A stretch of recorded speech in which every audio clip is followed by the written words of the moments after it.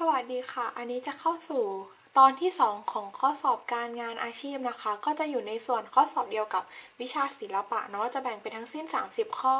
เป็นแบบเลือกคำตอบที่ถูกต้องที่สุดเพียงข้อเดียวจำนวนทั้งสิ้น 30 ข้อเรามาเริ่มกันที่ข้อที่ 1 อันนี้เป็นข้อมูลที่ใช้สำหรับการตอบคำถามข้อที่ 1 มีอุปกรณ์ให้ทั้งสิ้น 8 อย่าง คือ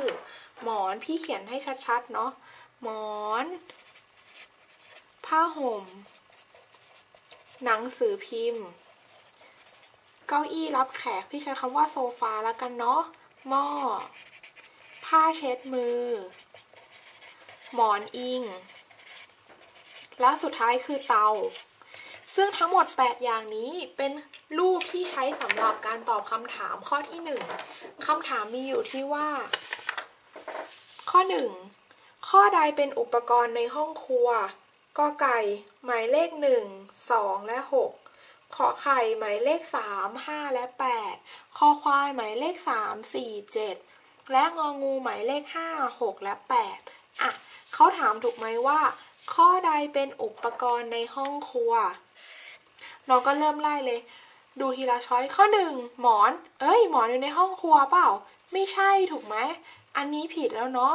และสองล่ะ ผ้าห่มก็ไม่อยู่ในห้องครัวอีกผิดไปใหญ่เลยหกผ้าเช็ดมือห้าเช็ดมืออยู่ในห้องครัวได้นี้ถูกต้อง แต่ข้อหนึ่งผิดสองอันก็ไม่เอาเนาะข้อขอไข่บ้าง หมายเลขสามฟึบหนังสือพิมพ์หนังสือพิมพ์อยู่ในห้องครัวไหมไม่ใช่ถูกไหมหมายเลขห้าหม้ออยู่ในห้องครัวไหมอยู่ หมายเลขแปดล่ะ เตาเตาอยู่ในห้องครัวไหมอยู่ถูกไหม อันนี้มันไม่อยู่หนึ่งอันเพราะฉันตอบไหมไม่ตอบถูกไหมคะ ส่วนข้อคอควายหมายเลขสามหมายเลขสามคือหนังสือพิมพ์บอกแล้วว่าหนังสือพิมพ์ไม่อยู่ในห้องครัวเนาะหมายเลขสี่ล่ะเก้าอี้รับแขกก็ไม่อยู่ในห้องครัว หมายเลขเจ็ดหมอนอิงก็ยิ่งไม่อยู่ในห้องครัวใหญ่เลย เพราะฉันข้อนี้ผิดหมดเลยทุกอันถูกไหมเพราะฉันควรตอบไหมไม่ควรเพราะเขาถามข้อถูกถูกไหม ส่วนข้ององูหมายเลขห้าหม้ออยู่ในห้องครัวถูกต้อง หมายเลขหกผ้าเช็ดมืออยู่ในห้องครัวถูกต้อง และสุดท้ายหมายเลขแปดคือเตา เตาแก๊สเตาถ่านอยู่ในห้องครัวถูกต้อง เพราะฉะนั้นในสี่ข้อนี้ข้อที่มีอุปกรณ์ที่อยู่ในห้องครัวก็คือข้ององู หมายเลขห้าหกแปดนั่นเอง ซึ่งห้าหกแปดก็ได้แก่ หม้อ ผ้าเช็ดมือแล้วก็เตา ซึ่งสังเกตว่าหมอนผ้าห่มหนังสือพิมพ์โซฟาหมอน พวกนี้ไม่ใช่อุปกรณ์ในห้องครัวหมดเลยเนาะเพราะฉันข้อนี้ต้องตอบ 5 6 8 ซึ่ง 5 6 8 ตรงกับช้อยข้ององูนั่นเองนะคะ ตอบงองูนะ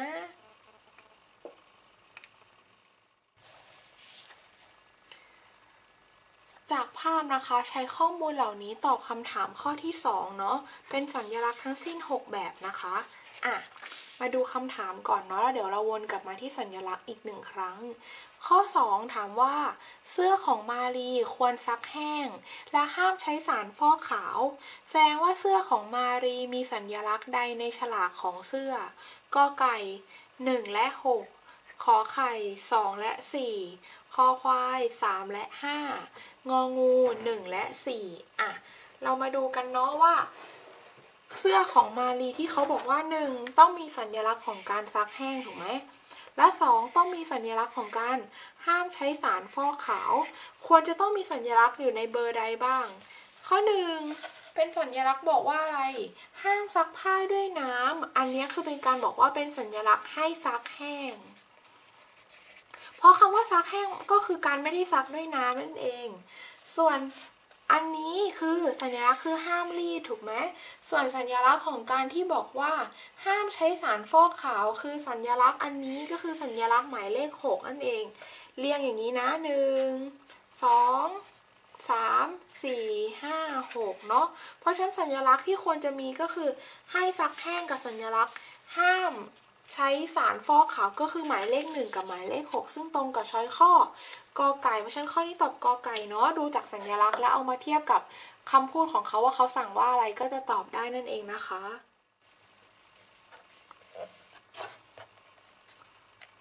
ข้อ 3 การเย็บด้วยมือข้อใดที่เลาะได้ออกง่ายที่สุด กอไก่การด้นตะลุย ขอไข่การสอยพับริม คอควายการด้นถอยหลัง และงองูการเย็บหลบหลังคาอะทีนี้เรามาดูนะเขาถามว่าอะไรจากโจทย์เขาถามเราว่า ข้อใดที่ล้อออกง่ายนะ ถูกไหมง่ายที่สุด น้องก็ต้องดูว่า เอ๊ะอันไหนที่มันเย็บหลวมที่สุดก็จะเอาออกง่ายถูกไหมน้องก็เริ่มไล่ทีละอันกอไก่ด้นตะลุย ข้อหนึ่งเนาะกอไก่ด้นตะลุย ด้นตะลุยคืออะไร คือสมมตินี่คือเนื้อผ้าถูกไหมด้นตะลุยคือการที่น้องหลายคนรู้จักการเนาไหมการเนาการเนา การเนาคือการเย็บแบบเข้าๆเป็นข้ามข้ามข้ามอย่างนี้ เพื่อให้ผ้ามันติดกันไว้ก่อน การการทำสิ่งที่เรียกว่าการด้นตะลุย ความหมายของมันก็คือการเนาที่การเนาที่ถี่ขึ้นนั่นเอง เพราะฉะนั้นถามว่ามันเลาะออกง่ายไหมง่ายถูกไหมเพราะว่ามันเป็นการแค่เอาเข็มแทงขึ้นลงนี้ฟึบฟึบฟึบฟึบฟึบฟึบให้ได้ระยะทางที่ค่อนข้างถี่ เพื่อเอาไว้ทำเวลาให้มันเป็นจีบจีบดึงออกได้ง่ายนั่นเอง เพราะฉะนั้นน้องรู้แล้วว่าอ๋อการด้นตะลุยนี่คือการเนาที่ถี่ขึ้น เพราะฉะนั้นถ้าการเนาที่ถี่ขึ้นหมายความว่ายังไง ก็หมายความว่ามันสามารถแกะออกได้ง่ายหรือลื้อออกได้ง่ายนั่นเอง เพราะฉะนั้นข้อนี้ก็เฮ้ยแอปติ๊กไว้ก่อนหน่าจะเอาออกง่าย ทีมาดูข้อขอไข่บ้างการสอยพับริม การสอยพับริมคืออะไร เป็นการสอยโดยที่มันเป็นการไขว้ของได้ ลักษณะของมันจะเป็นคล้ายๆแบบนี้คือ สมมุตินี่เป็นเส้นถูกไหม มันก็จะมีจุดจุดจุดจุดจุดไป มันก็จะเป็นการเข็มซ้อนระหว่างอย่างนี้ เป็นการสอยพับริมถามว่าดึงออกยากไหม ก็ต้องยากกว่าด้นตะลุยอยู่แล้วถูกไหมเพราะฉะนั้นนี้ก็น่าจะผิดเนาะ ส่วนข้อคอควายด้นถอยหลัง ด้นถอยหลังคืออะไร ด้นตะลุยคือเหมือนตะลุยไปข้างหน้าถูกไหม แต่ด้นถอยหลังคือหนึ่งเราเย็บไปข้างหน้าอย่างนี้ถูกไหม แล้วเราก็เย็บย้อนกลับมาอย่างนี้ แล้วก็เย็บไปข้างหน้าแล้วก็เย็บย้อนกลับมันก็จะทบไปทบมาทบไปทบมา เป็นการเพิ่มความหนาแน่น ถ้าน้องดึงอย่างนี้ดึงปลายเชือกปุ๊บออกมาไหมไม่ออกถูกไหมเพราะมันจะติดอยู่ด้านในถูกไหมคะ เพราะว่าเราด้นถอยหลังกลับมานั่นเอง เพราะฉะนั้นตัวนี้ก็เราออกยากกว่าด้นตะลุยแน่นอน ส่วนข้องงู เย็บหลบหลังคาตัวเนี้ยเป็นลักษณะของการ ทำให้มันเป็นการเย็บสองครั้ง ก็คือแทนที่เราจะทำด้นตะลุยแค่ครั้งเดียว เราก็เป็นการ เย็บสองชั้นเลาะได้ทำให้มันเลาะได้ออกยากขึ้น พี่ไม่แน่ใจในรายละเอียดว่ามันเย็บสองชั้นในลักษณะไหน แต่ว่าเขาบอกว่ามันคือการเย็บสองชั้นคล้ายกับลักษณะของด้นตะลุยนั่นเอง เพราะฉะนั้นการเย็บสองครั้งก็ต้องเลาะยากกว่าการเย็บครั้งเดียวอยู่แล้วเนาะ เพราะฉะนั้นข้อนี้ข้อที่เลาะได้ออกง่ายที่สุดก็ต้องตอบข้อกอไก่ก็คือการด้นตะลุยนั่นเอง เพราะการด้นตะลุยความหมายของมันคือ การที่เนาให้ถี่ขึ้นนั่นเองนะ ดึงออกก็สามารถใช้ได้เลยใช้ในการทำจีบนั่นเองนะคะ เพราะฉะนั้นข้อที่ตอบข้อกอไก่นะคะ ข้อ 4 งานฝีมือข้อใดเป็นเอกลักษณ์ของไทย และสื่อถึงวันแม่กอไก่มาลายมะลิสด ขอไข่ต้นมะลิซ้อนในกระถาง คอควายแจกันดอกกุหลาบสีแดง งองูกระเช้าดอกคาร์เนชั่นจากกระดาษเทชชู่ เขาถามถูกไหมว่าข้อใดเป็นเอกลักษณ์ เอกลักษณ์แสดงว่าต้องเป็นหนึ่งเดียว ซึ่งเห็นปุ๊บแล้วแบบเฮ้ยใช่เลยนี่คือลักษณะของไทยถูกไหม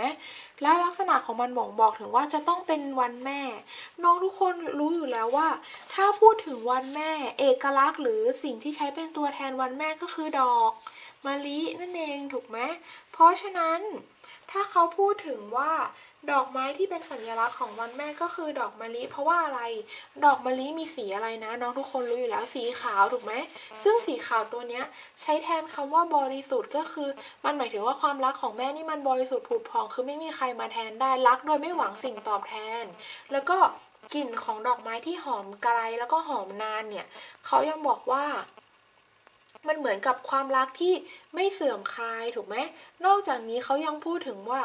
ไอ้ดอกมะลิเนี่ยเขาใช้ในการไหว้พระ เราก็เหมือนเราบูชาพ่อแม่เหมือนพระสงฆ์ถูกไหมเหมือนเหมือนเขาเหมือนว่าเหมือนเป็นพระประจำใจประมาณเนี้ยเพราะฉะนั้นดอกมะลิเนี่ยในเมืองไทยเนี่ยเขาเลยถือว่าเป็นเอกลักษณ์ประจำวันแม่เลยถูกไหมเพราะฉะนั้นถ้าเขาพูดถึงว่างานฝีมือก็คือเป็นงานที่ทำจากมือเนี่ยข้อไหนที่ทำให้ถึงนึกถึงวันแม่มากที่สุดกอไก่มาลายมะลิสดถูกไหม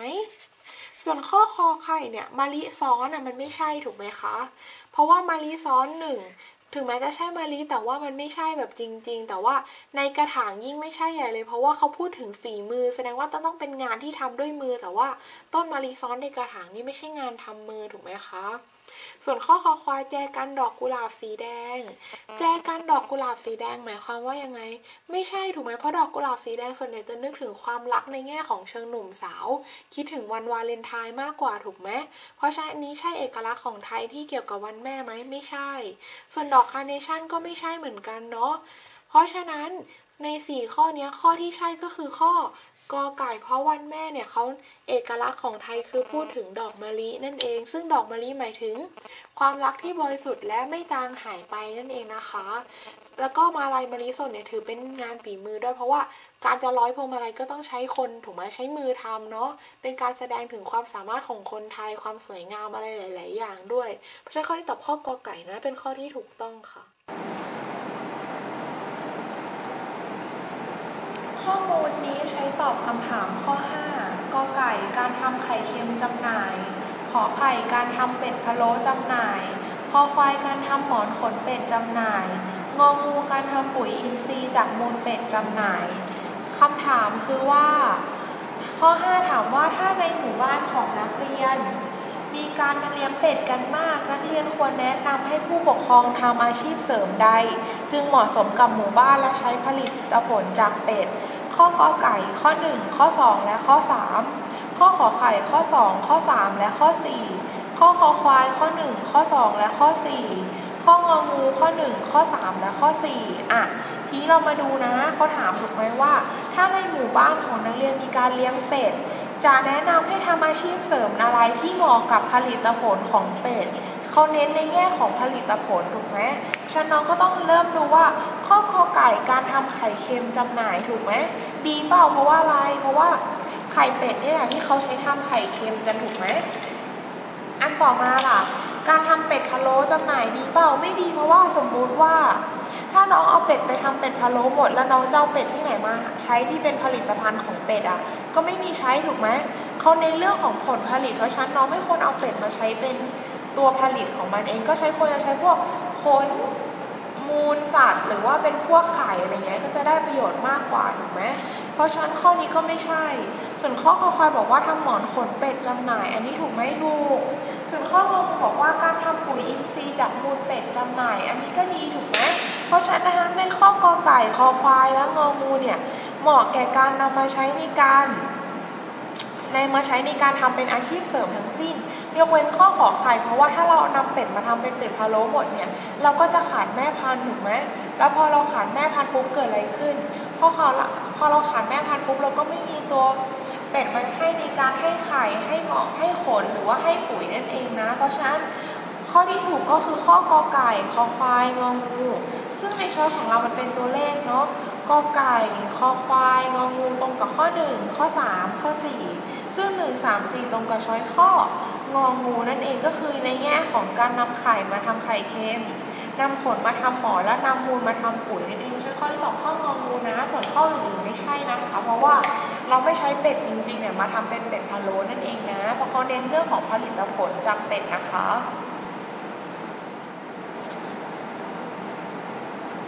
อ 6 ถ้าต้องการรักษาสุขภาพให้มีไขมันในเส้นเลือดน้อย ควรรับประทานอาหารชนิดใดกอไก่ชูชีปลาทูและขนมต้ม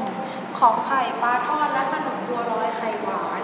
ปลานึ่งและผักสดคอควายนะคะ และลูกตาลลอยแก้วงองูผัดปลาเปรี้ยวหวานและกล้วยแขกทอด เขาถามอะไรข้อนี้เขาบอกว่า ต้องการรักษาสุขภาพถูกไหม โดยให้ไขมันในเส้นเลือดมีปริมาณน้อย เพราะฉะนั้นถ้าเขาต้องการลดไขมัน ในเส้นเลือดน้องก็ต้องลดไขมันที่กินเข้าไปถูกไหมซึ่งการลดไขมันที่กินเข้าไปนี่ทำยังไงเอ่ยก็ต้องลดอาหารจำพวกไขมันสูง โดยเฉพาะอย่างยิ่งไขมันอิ่มตัวถูกไหมซึ่งไขมันอิ่มตัวพวกนี้พบอยู่ในไหน พบอยู่ในพวกสัตว์ต่างๆ เช่น พวกที่เป็นพวกเนื้อหมูสามชั้น หรือว่าเป็นพวกของ หนังไก่หนังหมูต่างๆถูกไหมอันนี้คือสิ่งที่ควรเลี่ยง นอกจากนี้ในพืชสิ่งที่สำคัญคือกะทิ อะไรก็ตามที่มีกะทิที่มีไขมันสูงทั้งนั้น โดยเฉพาะอย่างยิ่งไขมันอิ่มตัวถูกไหม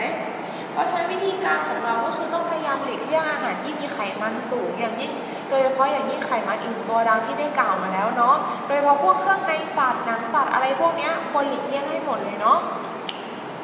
เพราะฉันก็ถามว่าคนกินอะไรล่ะที่มันจะ ลดไขมันในเส้นเลือดได้ ชูชีปลาทูชูชีปลาทูควรเลี่ยงไหมควรเลี่ยงเพราะว่าอะไร ชูชีมีผสมของกะทิอยู่ใช่ไหมเพราะฉะนั้นทำไงอะก็ควรจะเลี่ยงเพราะว่าการรับประทานกะทิเป็นไขมันอิ่มตัวนอกจากนี้ขนมต้มก็มีกะทิถูกไหมมีไขมันอิ่มตัวเต็มไปหมดเลยฉันควรเลี่ยง อันนี้ก็ควรเลี่ยงเนาะไม่ควรทาน อันนี้ปลาทอดกับขนมบัวลอยไข่หวานนี่ก็มีกะทิถูกไหมแถมนี่ก็เป็นอาหารที่เป็นน้ำมัน อาหารจำพวกทอดเนี่ยมีน้ำมันสูงมีไขมันสูง ถ้าเลี่ยงได้ควรเลี่ยงเนาะไม่ควรทานถ้าเราต้องการลดไขมันในเส้นเลือดส่วนข้อคอควายบอกว่าปลาเนึ่งผักสดดีเลยถูกไหมมีผักด้วยแล้วปลาเนี่ยก็เป็นสิ่งมีชีวิตที่มีไขมันน้อยมาก แล้วก็ เวลาเรานึ่งเนี่ยเราก็ไม่ได้รับไขมันจากกระบวนการการทอดหรือการผัดด้วยลูกตาลลอยแก้วก็มีแค่น้ำตาลไม่ได้มีไขมันในเลือดสูงเยอะอะไรถูกไหมก็สามารถรับประทานได้ แต่ไม่ควรรับประทานเยอะเพราะว่าน้องทุกคนต้องรู้ว่าน้ำตาลในร่างกายถ้าเรากินเข้าไปเยอะๆเกิดอะไรขึ้น น้ำตาลจะสะสมในรูปของไขมันได้นะนี่คือสิ่งที่น้องควรรู้ ส่วนข้อฮอร์โมนผัดปลาเปรี้ยวหวานกับกล้วยแขกทอดโอ้โหกล้วยแล้วก็ใบทอดแล้วก็ชุบแป้งอีกถูกไหม อันนี้ก็เป็นการผัดเพราะฉะนั้นถ้าเทียบกันในสี่ข้อเนี้ยข้อที่ดีที่สุดที่เป็นอาหารที่ดีต่อสุขภาพก็คือข้อคอควายนั่นเองเพราะว่าเป็นอาหารที่มีไขมันน้อย แล้วก็มีผักช่วยลดในการช่วยลดการเกิดการสะสมของไขมันในเส้นเลือดด้วยเน้องเมื่อเทียบกับข้ออื่นๆ ซึ่งมีส่วนประกอบของกะทิและน้ำมันเพราะฉะนั้นข้อนี้ตอบข้อข้อควายเป็นคำตอบที่ถูกที่สุดเนาะ